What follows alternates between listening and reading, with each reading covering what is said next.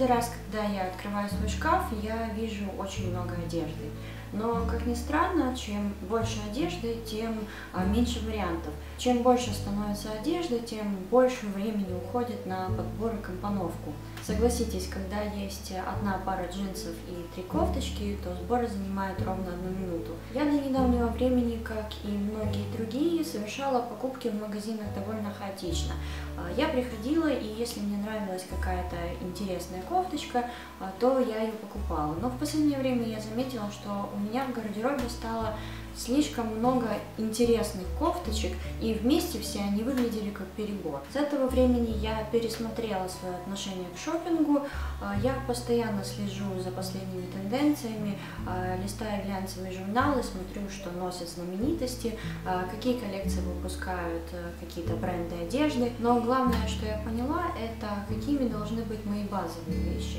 Теперь я знаю, какой крой мне идет и что для меня будет актуально как сейчас, так и через 5 лет. Хороший пример это юбки-колокольчики. В последнее время у меня в гардеробе появилось их огромное количество. Все они отличаются по цвету или фактуре, но в то же время их крой остается неизменным. Эксперты говорят, что это чисто мужской подход к моде, когда покупаешь одну и ту же вещь в разных оттенках. Но если тебе эта вещь действительно идет а, и будет актуальна на протяжении многих лет, то почему бы и нет? Сегодня я стараюсь большинство своих вещей покупать все-таки в проверенных фасонах. Давайте, наверное, отнесем их к безопасным. Но все же на какую-то небольшую долю я продолжаю рисковать и покупать какие-то очень трендовые вещи. Чаще всего я покупаю одежду в интернете, а, и по картинкам не всегда понятно, как на вас сядет какой-то очередной писк моды.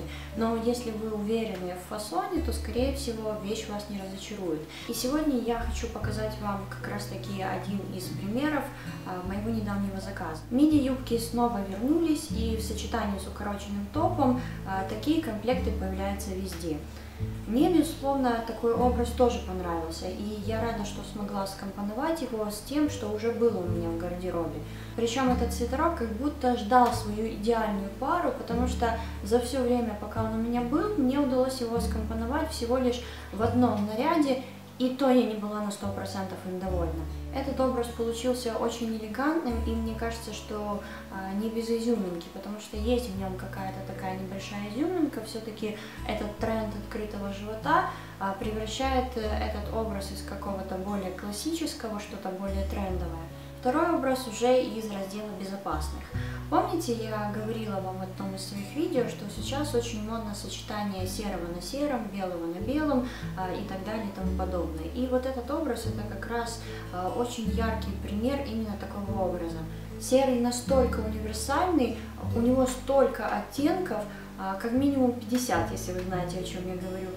В целом этот образ получился очень девчачьим, очень casual а, и как раз в моем стиле. Такой наряд подойдет для шопинга, для встречи с подружкой, а, да и на свидание тоже можно его одеть. Третий образ совершенно другой, хотя основан тоже на аналогичной юбке, просто другого цвета. И здесь я применила методику цветового блока. Если посмотреть на меня сверху вниз, то видим, что на мне чередуются бордовый с коричневым. Этот образ получился очень молодежным, и я думаю, что как раз таки молодым девчонкам он очень придется по душе. А, и сама я уже жду не дождусь весны, когда можно будет щеголять в какой-то легкой одежде, а, и глаз будет радоваться всем ярким краскам. Надеюсь, это видео вдохновит вас более разумно подходить к своим покупкам, а, но также прошу вас, не забывайте рисковать, ведь это так интересно, когда есть что-то новенькое в гардеробе, что-то, что мы не привыкли носить, потому что сразу происходят внутренние перемены, когда что-то надеваешь, а, то, что тебе совершенно не свойственно. Даже меняется походка, меняется настроение, и это на самом деле замечательно. Как сказала Коко Шанель, для того, чтобы быть незаменимой, нужно постоянно меняться.